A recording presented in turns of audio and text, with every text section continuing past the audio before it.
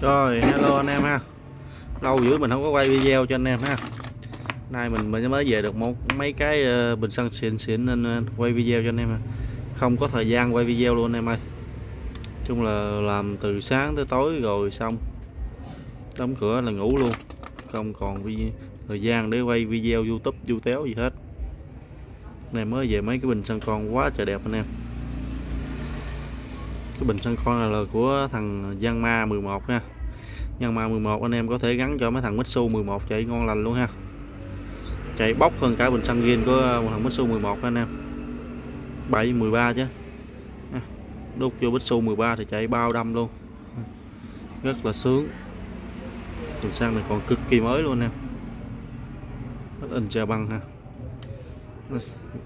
Cái bình xăng xăng này là xăng ghiên tháo máy anh em à. Nhìn tháo máy con này là mình chưa vệ sinh gì hết à. Mới về được mấy cái chưa vệ sinh.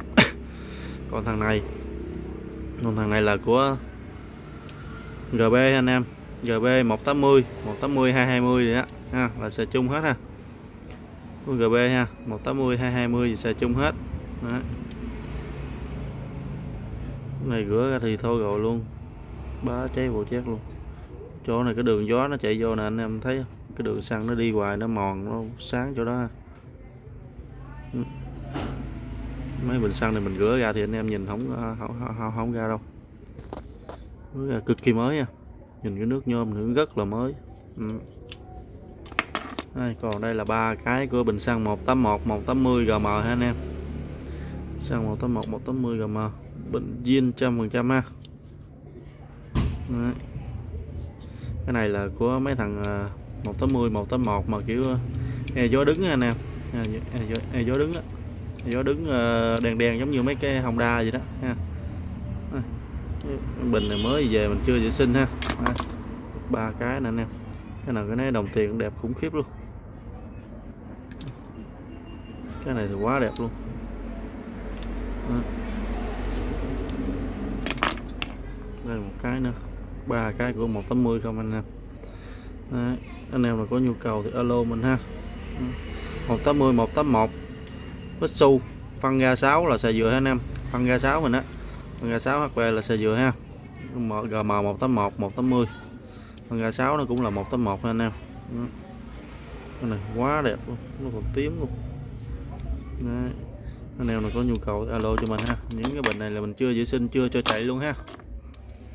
Anh em nào cần mua thì alo cho mình mình vệ sinh từng cái cho anh em ha bao anh em là về giật mỗi cái mỗi chạy không cần phải đóng e lên ra ha.